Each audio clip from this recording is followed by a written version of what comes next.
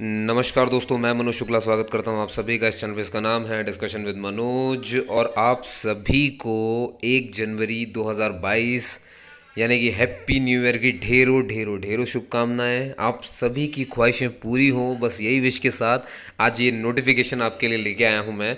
आपने देखा होगा हाल ही में एमपीपीएससी ने अपने नोटिफिकेशन में ज्ञापन जारी किया है फॉरेस्ट सर्विस एग्ज़ाम का 2022 का, ठीक है? यानी कि मध्य प्रदेश लोक सेवा आयोग द्वारा वन सेवा में अधिकारी बनने के जो भी इच्छुक हैं, ये उनके लिए है। तो चलिए आइए पढ़ लेते हैं क्या क्वालिफिकेशन है एजुकेशनल क्वालिफिकेशन क्या चीज़ है, कब इसका पेपर होना है, कब इसके फॉर्म खुलने हैं, सारा कुछ इसमें पता करते हैं, ठीक है? चलिए, आइए। तो जैसा कि आप देख सकते हैं कि आपको कुछ जानकारी, जैसे कि पद का नाम क्या है? सहायक वन संरक्षक है ये। विभाग का नाम आपको मालूम हो गया है, मध्य प्रदेश शासन वन विभाग रहेगा और श्रेणी जो रहेगी वो राजपत्रित द्वितीय श्रेणी हो जाएगी, है ना? आप समझ गए होंगे, ठीक है? स्थिति मतलब पोजीशन जो है वो स्थायी है, ठीक है? वेतनमान आप समझ लीजिए कि इतने से शुरू होगा और इतना तक जाएगा तो बनी बात अगर आप अधिकारी हैं, द्वितीय श्रेणी के तो ये तो बनता ही है आपका, ठीक है? तो जैसा कि मैंने कहा आपसे कि अब बात करते हैं डेट की तो ऑनलाइन जो स्टार्ट है फॉर्म फिल करने की, वो पंद्रह जनवरी से स्टार्ट होगा। तो आप चिंता मत करो, आप तो एक जनवरी हो गई आज, ठीक है? और ये हो गई पंद्रह जनवरी, ठीक है? तो इसमें आपको जाना है और इसे देखना है। समझ गया? बहुत बढ़िया। अब मैं आपको एक चीज़ और बता देता हूँ कि इसका लास्ट डेट जो है, वो रहेगा नौ फरवरी। तो भरने का स्टार्ट होगा पंद्रह जनवरी से और नौ फरवरी तक आप भर सकते हैं। कितनी पोस्ट है? सिक्सटी थ्री है, ठीक है? सिक्सटी थ्री है। और आप जो एप्लीकेशन है वो ऑनलाइन ही भरेंगे और ये नीचे लिखी हुई है वेबसाइट ठीक है? इसको लिख लीजिए कहीं पे, इसको डायरेक्ट भी टाइप करेंगे तो भी मिल जाएगी, नहीं तो आप एम डायरेक्ट टाइप करो गूगल पे, तब भी मिल जाता है, ठीक है? वहाँ पे साफ़ साफ़ लिखा मिलेगा वन रक्षक की भर्ती के लिए, है ना? वन रक्षक कह रहा हूँ मैं, सहायक वन संरक्षक हैं ठीक है? तो एज लिमिट कई लोग पूछते हैं तो वही बता देता हूँ मैं, जैसे इक्कीस इक्कीस साल मिनिमम है और चालीस साल जो है ये मैक्सिमम है। ठीक है? और वन क्षेत्रपाल या परियोजना क्षेत्रपाल के लिए 21 वर्ष की आयु पूरा कर ली हो, किंतु 33 वर्ष की आयु से ज़्यादा नहीं हो। ठीक है? 21 वर्ष की आयु पूरी कर ली हो, लेकिन 33 वर्ष से आयु से ज़्यादा नहीं होना चाहिए। ठीक है? आयु सीमा की गणना जो है वो एक जनवरी 2022 तक होगी। ये आप समझ पा रहे हैं ना मैं जो कह रहा हूँ आपके? देखिए, इनने बोला है कि सहायक वन संरक्षक के लिए तो 21 से 40 लेकिन जो वन क्षेत्रपाल या परियोजना क्षेत्रपाल होंगे भाई पोस्ट निकलती है ना, जो भी हैं तो जो वन क्षेत्रपाल के लिए अप्लाई करेंगे, उनकी इक्कीस आयु पूरी कर ली हो पहली बात, लेकिन तैंतीस वर्ष से ऊपर नहीं तो उनके लिए इक्कीस से तैंतीस है। मतलब मान लीजिए कोई अगर चौंतीस साल वाला बंदा है तो वो ये तो भर सकता है, लेकिन वो ये वन क्षेत्रपाल नहीं भर सकता है, ठीक है? चलिए, बहुत बढ़िया। अब आ जाते हैं डॉक्यूमेंट वेरिफिकेशन में आ, क्या मतलब सॉरी डॉक्यूमेंट क्या क्या रिक्वायर्ड है आपके पास क्या क्या होना चाहिए? तो भाई देखो शैक्षणिक योग्यता प्रमाण पत्र यानी जो भी आपके पास ग्रेजुएशन की डिग्री तो होनी चाहिए आधार कार्ड होना चाहिए आवासीय प्रमाण पत्र होना चाहिए हाल ही का खींचा हुआ फ़ोटो होना चाहिए signature mobile number email ID और अनुभव प्रमाण पत्र एवं अन्य और जो भी होगा। ठीक है? अब बात कर लेते हैं एजुकेशनल क्वालिफिकेशन की। तो जैसे कि हमने कहा, सबसे बड़ी पोस्ट जो है, सहायक वन संरक्षक की है। तो इसके लिए जो एजुकेशनल क्वालिफिकेशन है, वो है किसी भी मान्यता प्राप्त विश्वविद्यालय से विज्ञान, यानी साइंस या फिर अथवा। अथवा इंजीनियरिंग में स्नातक के समकक्ष होना चाहिए। मतलब भैया ग्रेजुएट वाले जो बंदे हैं, वो इसे आराम से भर सकते हैं। ठीक है? ये आप समझ गए? है ना? चलिए। तो ये था हमारे पास एक चीज़। अब अगला देख लेते हैं भैया। वन क्षेत्रपाल और परियोजना क्षेत्रपाल यानी ना तैंतीस तैंतीस इनकी मैक्सिमम एज है। तो इसके लिए क्या है भाई? इसके लिए कहा गया उम्मीदवार के पास जो है भारत के भारत में मान्यता प्राप्त किसी विश्वविद्यालय से विज्ञान, यांत्रिक यानी कि मैकेनिकल, एग्रीकल्चर, वानिकी में स्नातक उपाधि होना चाहिए। ठीक है? प्राप्त हो। ठीक? समझ गया तो आप समझ गए होगे। यांत्रिकी वाले भी भर सकते हैं, विज्ञान वाले भी भर सकते हैं। अब दूसरा है परियोजना क्षेत्रपाल सेम है, कुछ भी अंतर नहीं है। है ना? अथवा समतुल्य विदेशी अर्हता भी होनी चाहिए, इसके लिए जो है। उसमें ध्यान मत दीजिए, आपके पास अगर ये है तो आप इसे फिल कर सकते हैं। यानी सिक्सटी थ्री पोस्ट है दोस्तों, आप जो भी तैंतीस से कम है वो दोनों पोस्ट भर सकते हैं। ग्रेजुएशन मैंने आपको बता ही दिया है, क्या इसमें चाहिए होता है, ठीक है? तो ये कुछ बातें थी। अब मैं बताता हूँ आपको फ़ीस के बारे में। तो फ़ीस आपको सबको पता है कि मध्य प्रदेश के जो मूल निवासी हैं कौन अनुसूचित जाति, अनुसूचित जनजाति तथा अन्य पिछड़ा वर्ग यानी ओबीसी गैर क्रीमी लेयर, श्रेणी के अभ्यर्थियों के लिए ढाई सौ परीक्षा शुल्क रखा गया है। अन्य सभी श्रेणी एवं मध्य प्रदेश से बाहर के निवासी, देखो, अन्य सभी श्रेणी जानते कौन है? जनरल कैटेगरी जनरल कैटेगरी है ना? इनके लिए और जो बाहर से लोग आते हैं, अब वो चाहे बाहर से आने वाले एस हो चाहे एस हो चाहे ओ हो, अगर वो मध्य प्रदेश का निवासी नहीं है तो उसके लिए पाँच सौ है। और जो मध्य प्रदेश के निवासी हैं, लेकिन जनरल कैटेगरी है तो भी पाँच सौ है। क्योंकि बाकी तो यहाँ आ गए, उनके सबके लिए ढाई सौ है। समझ गए? तो जनरल वालों तो लड़के तो खास तौर पे। कोई बात नहीं, आप तो भरिए इसे। अब इससे मतलब नहीं है, पर ठीक है, आप थोड़े बहुत परेशान हो जाते होंगे ये सब सुन करके, पर कोई दिक्कत नहीं, है ना? इसमें हमें पढ़ना नहीं है। देने होंगे सभी श्रेणी के आवेदकों को उपयुक्त स्कूल के अतिरिक्त शुल्क जो है चालीस रुपये अतिरिक्त देना होगा, जो अभ्यर्थी राज्य सेवा तथा सेवाओं हेतु आवेदन करेंगे, उन्हें भी उपयुक्त अनुसार ही शुल्क एक बार ही देना होगा। समझ गए आप सभी? ठीक है? तो ये कुछ बातें मैंने आपको बताई।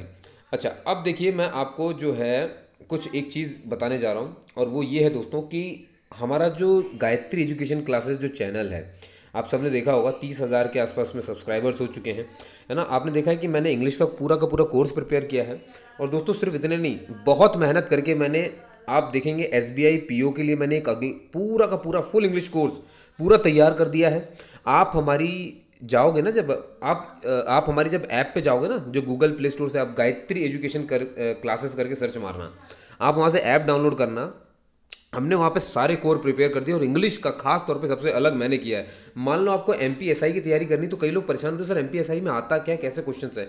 आप बिल्कुल चिंता मत करो, मैंने बिल्कुल अलग सेपरेट कोर्स उसका तैयार कर दिया है। आप आराम से स्कोर कर सकते हो, है ना? और बस देखना जा करके, पहले ऐप डाउनलोड करना एप्लीकेशन एप्लीकेशन में आप जैसे जाएँगे तो आपको मिल जाएँगे इंग्लिश के सभी कोर्स अगर आप CDS की तैयारी कर रहे हैं भाई सी की तो CDS का मैंने दो हज़ार बाईस के हिसाब से बनाया, दोस्तों, याद रखिएगा। जितने भी मैंने बनाए सब दो हज़ार बाईस के हिसाब से बनाए हैं। बिल्कुल नए लेक्चर हैं सारे के सारे, और सब के सब समझ में आने लायक वाले हैं, ठीक है? तो मैंने एस एस सी के लिए भी अलग से बना दिया है। सी एच एस एल का अभी बस बनने वाला है। थोड़ा सा टाइम और लगेगा, पर वो बन के तैयार हो जाएगा। सी का पूरा बन गया सी का पूरा बन चुका है। ठीक है? एस बी के लिए मैंने पूरी इंग्लिश बना दी है।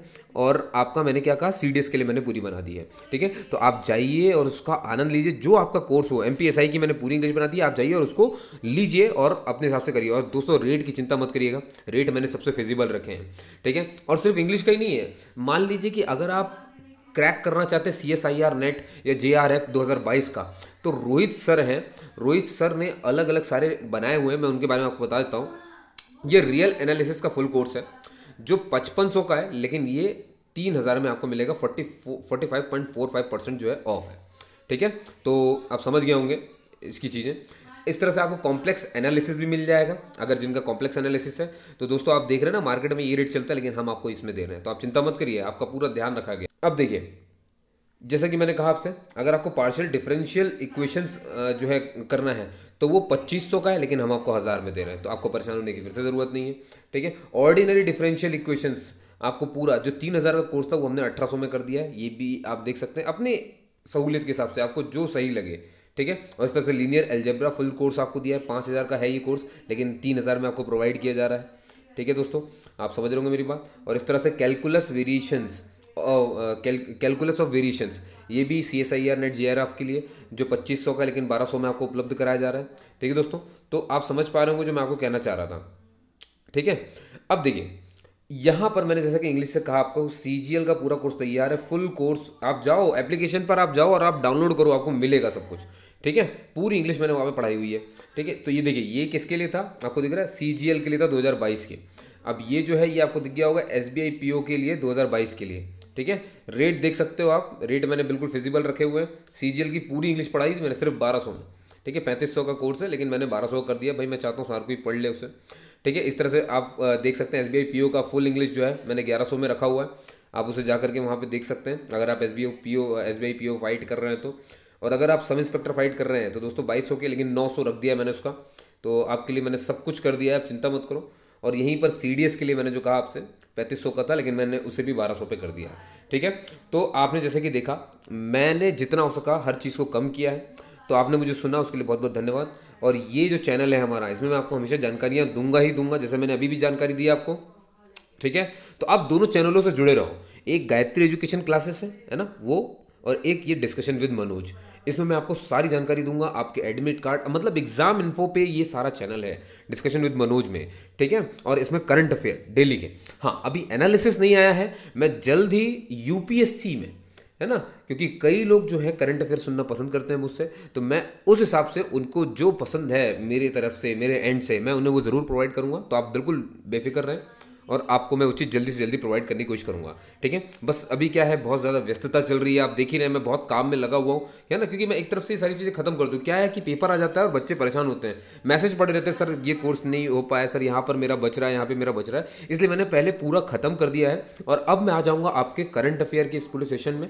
आपको मैं कचड़े से बचाऊँगा। आप चिंता मत करो। आप बस जुड़े रहो और आपको पता चलेगा कि क्या पढ़ना होता है और क्या बिल्कुल हटा देना होता है। ऐसा नहीं होता है कि हर चीज़ आपको रट डालने की कोई भी कहीं पे भी प्रधानमंत्री या प्रेसिडेंट बन रहा है या कहीं पर भी कोई भी जा रहा है विज़िट करने या कुछ भी तो वो रट लेना होता है। बिल्कुल ऐसा कतई नहीं होता है। मैं बताऊँगा आपको कि क्या चीज़ आती है और क्या चीज़ पढ़नी है, ठीक है? तो उसके लिए बस आपको मुझसे जुड़े रहना है। तो आपने मुझे सुना, उसके लिए बहुत धन्यवाद दोस्तों। और फिर से आपको इस पूरे नए वर्ष की बहुत सारी शुभकामनाएँ और आने वाला ये वर्ष हम सभी की ज़िंदगी में रौनक लाए। है ना? अब कोरोना और इन सबसे हम इजाद पाएँ। हालाँकि बहुत मुश्किल पड़ रही पर कोई दिक्कत नहीं। धीरे धीरे लड़े हैं हम और लड़ते रहेंगे और जीतेंगे भी। ठीक है? अपन सब साथ ही रहेंगे और बिल्कुल पाएँगे, लक्ष्य को पूरा करेंगे। तो दोस्तों, इसी के साथ आप सभी को जय हिंद बोलता हूँ और मिलता हूँ अगले लेक्चर में। धन्यवाद।